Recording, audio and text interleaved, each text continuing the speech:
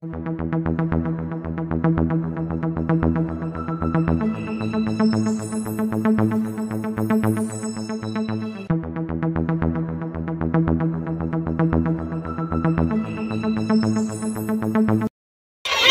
Supervisor का तनख्वाह वागुजार करो वागुजार करो, वागुजार करो। तो सुपरवाइजर का तनख्वाह वागुजार करो वागुजार करो, वागुजार करो। We want Justice. We want Justice. हमारी मांगे पूरी करो। हमारी मांगे पूरी करो। हमारी मांगे पूरी करो। जो हमसे टकराए हमारा टकराए। और जुल्म के चक्की में इंसाफ हमारा टकराए। आवाज़ दो। हम एक हैं। आवाज़ दो। हम एक हैं। We want Justice. We want Justice. We want Justice. We want Justice. हमारी मांगे पूरी करो। हमारी मांगे पूरी करो।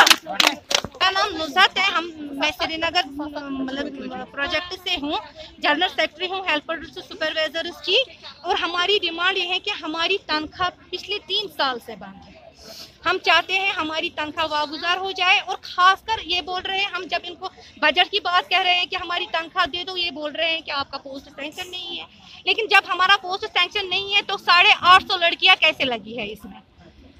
अब हम इनको बोल रहे हैं कि हमारी पोस्ट सेंक्शन कर दो।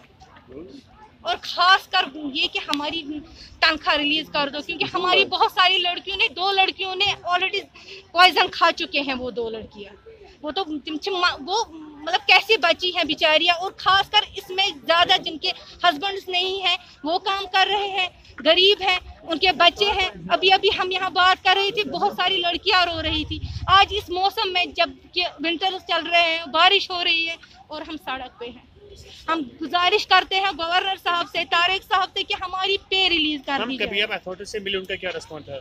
एक साल हो गया हमारा कि जूते भी अब घिस गए हैं सेक्रेटरी जाते हुए तारिक साहब से मिलते हुए जम्मू भी गए और रिसेंटली हम जम्मू गए थे। तो उनका यही है कि आपके पोस्ट सेंक्शन नहीं है। जब सेंक्शन नहीं था तो आज से तीन साल पहले हमारी पे आती कहाँ से थी? अब आपकी क्या डिमांड हमारी ये डिमांड है कि हम गुजारिश करते हैं गवर्नर साहब से, तारिक साहब से कि हमारी पे रिलीज़ कर दी जाए और खासकर हमारे पोस्ट सेंक्शन किए जाए। और इसके आगे किसी को इस हेल्पर टू सुपरवाइजर पोस्ट के लिए सेंक्शन मत करें।